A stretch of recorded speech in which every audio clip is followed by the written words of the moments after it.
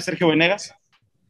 Gracias, Mike. Buenas noches. Sergio Venegas para Deportes.com. Profesor, primero felicitarlo por la victoria y ahora que se enfrenta a Mazatlán, ¿cómo espera corregir? Como bien menciona, con una victoria es más fácil, pero a final de cuentas también el equipo que se va a enfrentar la próxima semana busca acceder a los puntos y sobre todo calificar de entre los ocho primeros. Le deseo éxito y buenas noches.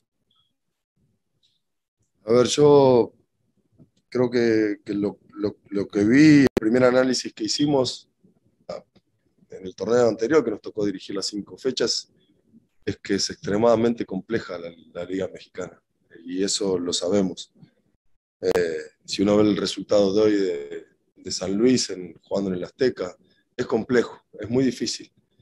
Entonces habrá que preparar otra clase de partido, habrá que analizar mucho al rival. Eh, creo que vamos a enfrentar un buen rival, lo, enfrentamos en pretemporada y, y, el partido va a ser totalmente distinto. Eh, jugamos a las 6 de la tarde, pero no jugamos en altura. Así que, que, bueno, esperemos hacer, trabajar bien en la semana, tener ese tiempo y poder, poder realizar un buen encuentro y, y tratar con, con, toda la humildad de traernos los, los tres puntos. Bueno, a ver, eh, yo creo que teníamos que cambiar porque veníamos de, de tres partidos sin, sin victoria. Y lo que buscamos es jugar con dos interiores con, con mucho fútbol, que son Titi y Marcel. Y la inclusión de Renato a, a pierna cambiada. Juntar futbolistas de buen pie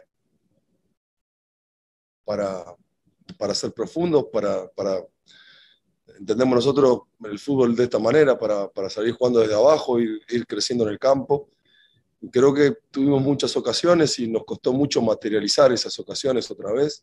Eso está en el debe, porque el equipo produce y llega y tiene llegadas muy claras, pero nos está costando mucho hacer gol y eso, y eso complica los partidos, en definitiva, porque entiendo que, que era un partido para irse al menos al descanso eh, con mínimo con un 1 a 0.